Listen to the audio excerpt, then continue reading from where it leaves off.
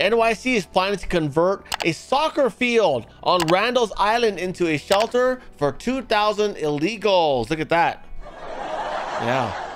At least they're not taking from the black community, right? This is definitely a, a, a Hispanic sport right here. Look at that, four soccer fields, guys. That's a lot of recreational space. Do you know how much more crime there's going to be if kids don't get their recreational activity?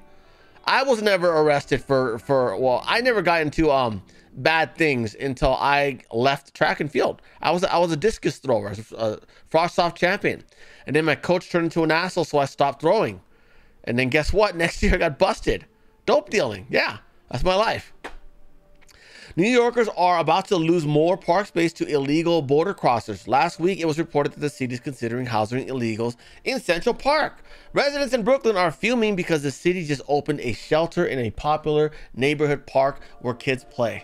Those are two other stories I just covered. Now, the public park in Randall's Island is going to lose its soccer fields as the city plans another shelter to house 2,000 people. Wow, guys. Wow. New York City opened a shelter for migrants on Randall Island some nine months after officials closed a similar center that housed asylum seekers in the East River Park. Adams said the new space will house roughly 2,000 adult asylum seekers. Officials said the new site will open in the coming weeks, along with two other new relief centers in other parts of the city. As the number of asylum seekers in our care continues to grow by hundreds every day, stretching our system to its breaking point and beyond, it has become more and more of a Herculean effort to find enough beds every night. Uh, city officials said there are now more than 57,000 migrants under the city's care. Wow, look at that. Oh, such a nice park. We're going to watch that video when we get over to Kick Only. Oh, that's kind of nice. Look at that. It's got a bridge over it. That's kind of cool. I think that looks awesome when I see stuff like that. You usually see a grass field and there's nothing around. Oh, no, big bridge. Look at that. Construction of the housing means 3,000 hours of recreation for both public and private school children, as well as adult sport leagues, would be canceled, which means a lot more kids are going to go more delinquent. Okay. Put your, if you want your kids to come out okay, put them in sports. Okay.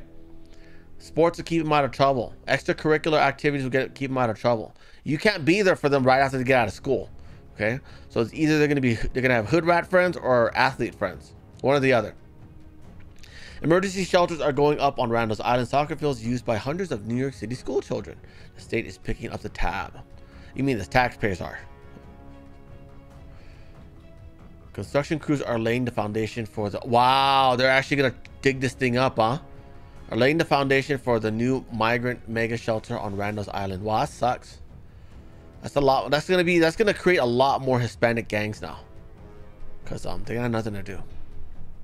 Can you even imagine that the city is going to look like in a year? Wow. We'll watch these videos when we get over to uh, Kick, okay? I can't play them here on YouTube because of reuse content policies. Huh?